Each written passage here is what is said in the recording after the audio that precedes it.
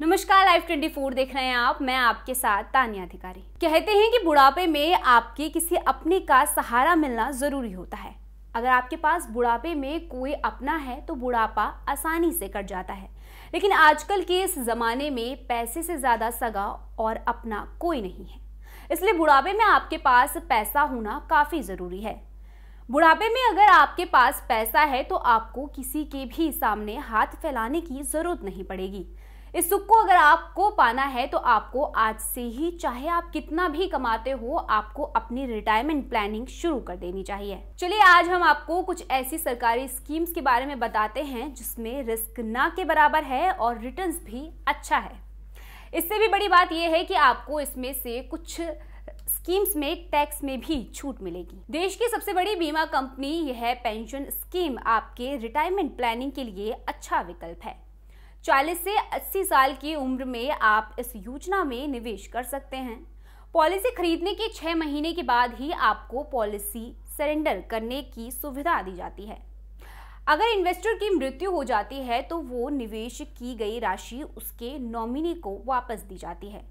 इस स्कीम में आपको साल में सिर्फ़ एक बार ही प्रीमियम भरना होता है, जिसके बाद आप या तो हर महीने या हर महीने या फिर हर छः महीने या सालाना आधार पर पेंशन पा सकते हैं।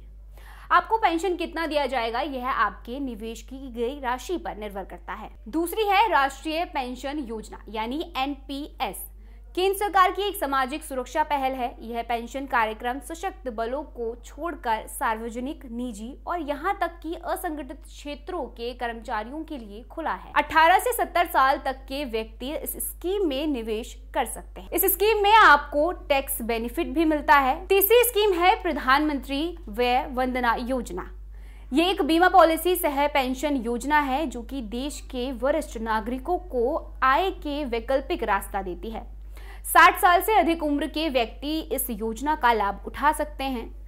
प्रधानमंत्री व्यय वंदना योजना हर साल सात दशमलव चार प्रतिशत का सुनिश्चित रिटर्न प्रदान करती है।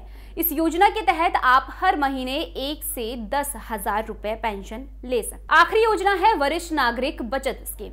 इस योजना में 60 साल से ज़्यादा उम्र के व्यक्तियों के लिए सरकार द्वारा प्रयोजित बचत साधन है।